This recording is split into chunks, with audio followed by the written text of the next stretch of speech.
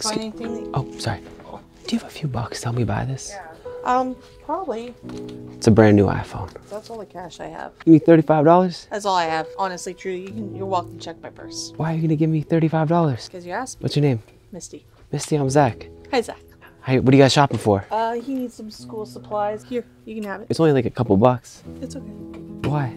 Because it's Christian charity. It's Lent, and we're called to do things as Catholics that are charitable, so Thank you. you're welcome. What are you guys doing for Lent? giving up lying and trying to uh, learn some Latin prayers. That's beautiful, man. I don't actually need the cash today. It's okay. I was just gonna ask the first person to be kind to me Okay. To bless them. I have a two thousand dollar iPhone. It's okay. I don't need it. Can I gift it to somebody else? You don't want it? I don't do things for any expectation. Just do them. Just be kind. That's what I teach my kids. That's beautiful. So I, I'm doing the same thing to you. Okay. Can I give it to you? Sure you can. Can I give you a hug by any chance? Of course you can. I love hugs. I love you. I love you too. God bless you.